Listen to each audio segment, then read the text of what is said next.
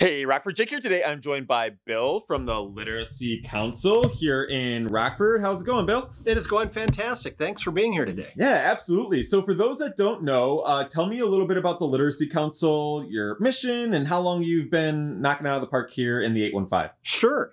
Well, uh, the Literacy Council has been helping the community for over 35 years. We actually just had our 35th anniversary recently. Congratulations. Thank you. Yeah, yeah we're here to help the community to improve literacy skills. Basically, basically to, to help people uh, achieve more by being more competent and more confident in their life skills. Nice. And so, uh, yeah, I think it's like one of those things that a lot of people don't realize in terms of a need in our community. Like how many people just can't read that it, live here in Rockford? It is amazing to me. I uh, recently moved here, and in the process, I did some research and found out some information. And surprisingly, in Boone County, uh, Winnebago County, and the northeast corner of Ogle County, which is the area that we serve, uh, we have about one in 10 people that have issues with their literacy.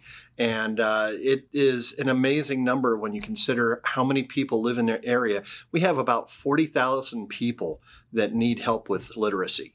Uh, wow. Uh, whether it's a matter of uh, it's English as a second language for some of those folks, or it's people that struggled getting through the school system in the first place and need help getting to become uh, confident readers and writers, and you know build their life skills so that they can be productive members of society.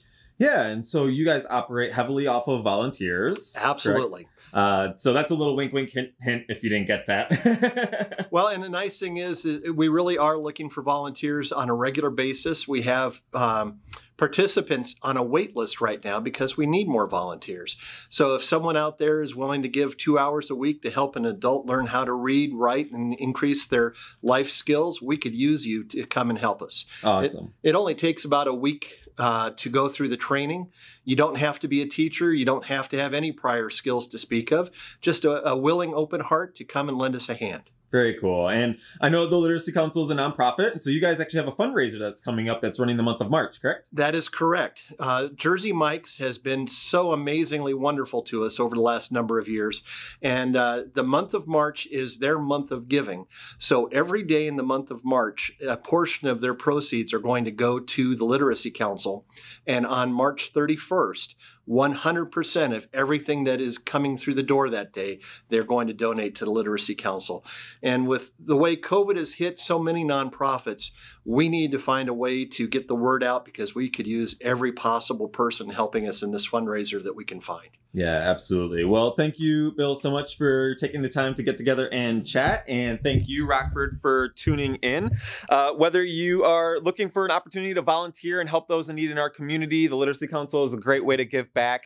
And during the month of March, if you're hungry and out and about, definitely pop on by Jersey Mike's uh, because, like Bill said, a portion of their proceeds throughout the month goes to support this wonderful program here inside of our community. And then on March 31st, be especially hungry because that's when all of the all the revenue that comes through the door um, goes goes to this wonderful organization here in the 815. So big shout out to all of our business sponsors and our backers that make content like this possible. It's because of their support I'm able to get together with guys like Bill and tell you about wonderful organizations inside of our community like the Literacy Council and bring you all this positive content for free through the power of the internet. So thank you so much to them and we'll catch y'all on the flip side. Bye, Rockford.